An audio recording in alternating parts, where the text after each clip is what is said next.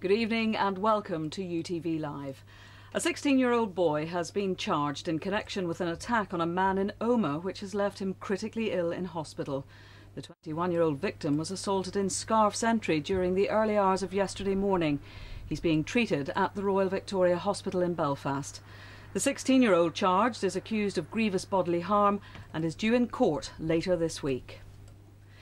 A 17 year old has been shot in West Belfast. He was attacked in a house at Westrock Park in the Whiterock Road area sometime before 9 o'clock this morning. The victim was rushed to hospital where he's being treated for gunshot wounds to his legs. A Nigerian man has been awarded thousands of pounds compensation for racial discrimination after being accused of drinking his own beer in a Belfast bar. The Equality Commission says the case provides important lessons to any organisation offering services to the public. Paul Crummy has the details.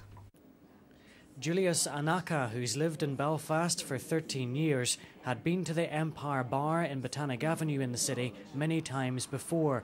He didn't encounter any problems until one day in May 2007. He sat with friends in the bar's beer garden and was soon accused by staff of drinking beer from a carryout. I was shocked and I felt humiliated because uh, he made his utterances were very loud so that everyone could hear. Initially, we thought uh, the, the, bar staff was coming to ask us if we needed more drinks, uh, uh but uh, when he started uh, the barrage of allegation, I was absolutely shocked and I felt embarrassed and humiliated. The fact that lots of the people in the in the beer garden were aware of this at, at the time. Um, I, I felt really humiliated. Julius received a letter from Wine Inns Limited about the incident. That letter was later described by a district judge as a tirade of bald denial and threats. The Equality Commission brought the case to court, where it was ruled that his treatment at the bar was all down to his race.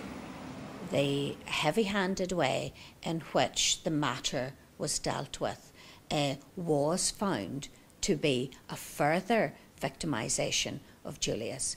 And so I think the message would be to ensure that service provision uh, does not discriminate against people and that when customers make complaints around the service provision, uh, that that is appropriately and adequately investigated. The court also issued an injunction which will prevent the company from subjecting Julius to any further unlawful discrimination if he decides to go to the bar again. The Equality Commission says the case sends a clear message that racism in all its forms is wrong and must be challenged. Paul Crummy, UTV Live. Counting of votes cast in the European election here will get underway tomorrow. Early tally indications suggest that the DUP has suffered at the hands of the TUV's Jim Allister. It's been predicted that Sinn Féin will top the poll. The full results will not be known until tomorrow afternoon. Well, sport now, and in GAA, Antrim's hurlers fell to a heavy defeat in their opening Leinster Championship game, losing 216 to 12 points against Dublin at Croke Park.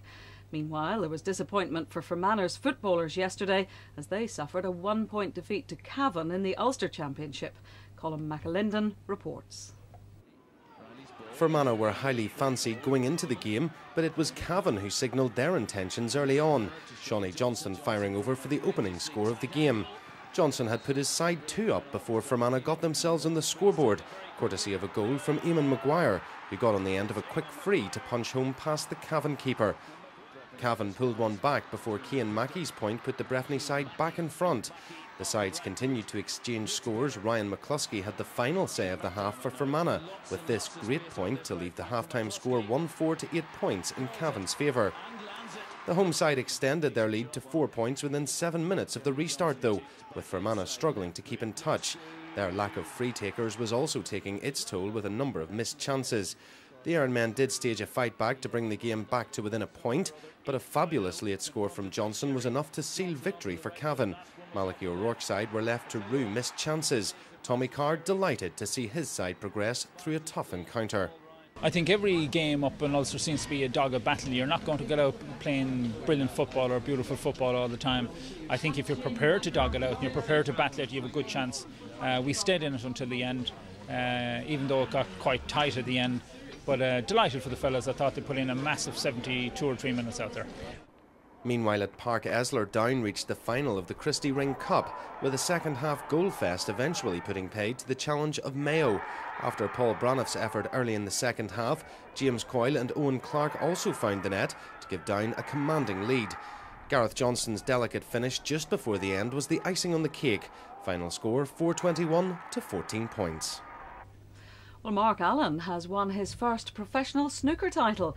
The Antrim man defeated Ding Junhui by six frames to nil in the final of the International Classic tournament, which was held in China today. Now on to football. Northern Ireland's under strength squad came home from Italy with their pride intact after losing by three goals to nil in last night's friendly international in Pisa. John Flack reports. The world champions also fielded a relatively inexperienced side, but they took control from the start. Italy took the lead in the 20th minute, former Man United player Giuseppe Rossi firing them in front in superb fashion. No chance for Northern Ireland keeper Jonathan Tuffy. Nigel Worthington's side had very few chances, although Rangers player Andrew Little did have a shot on target shortly after the break. But it was Italy who got goal number two, another excellently worked effort, Rossi putting Pasquale Foggia through, and he finished superbly. The Italians were awarded a penalty shortly afterwards. But Tuffy pushed Giampaolo Pazzini's effort to safety. But it wasn't long before Italy got their third goal. Sergio Pellissier with an excellent turn and shot, as Crusaders defender Colin Coates could only stand and watch in admiration. Linfield's out of contract goalkeeper Alan Mannus came on for Tuffy and he kept a clean sheet after denying Pellissier his second goal of the night. 3 0 finished. Well, the Republic of Ireland's chances of qualifying for next year's World Cup finals in South Africa are still very much alive after a one-all draw with Bulgaria and Sofia last night. Manchester City defender Richard Dunne put Giovanni Trapattoni's side in front in the 24th minute when he was given a free header. But a defensive mistake at the other end of the pitch let Bulgaria in for the equaliser eight minutes later. Dimitar Telkiyski beating the Republic's goalkeeper Shay Given. The new Queen's Park Rangers manager, former Northern Ireland player Jim Magilton, says he's looking forward to the job after being sacked from Ipswich Town towards the end of last season.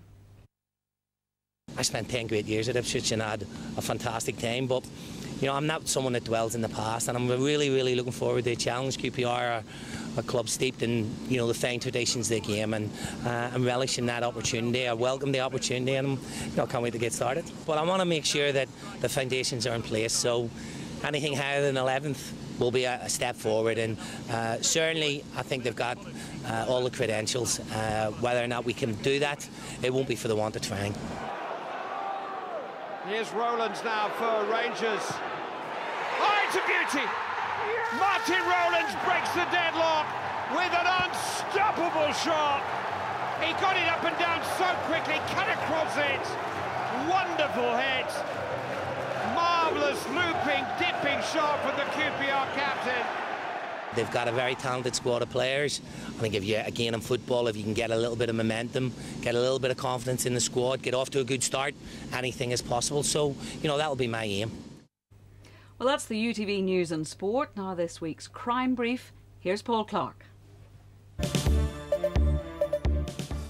That's the latest from the UTV News Centre. There'll be updates throughout the night on U105 and at u.tv. The weather is next, but from all of us here in the studio, have a very good evening.